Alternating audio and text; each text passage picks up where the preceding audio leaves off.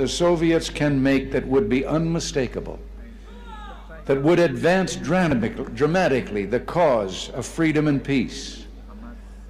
General Secretary Gorbachev, if you seek peace, if you seek prosperity for the Soviet Union and Eastern Europe, if you seek liberalization, come here to this gate. Mr. Gorbachev, open this gate. Mr. Gorbachev, tear down this wall.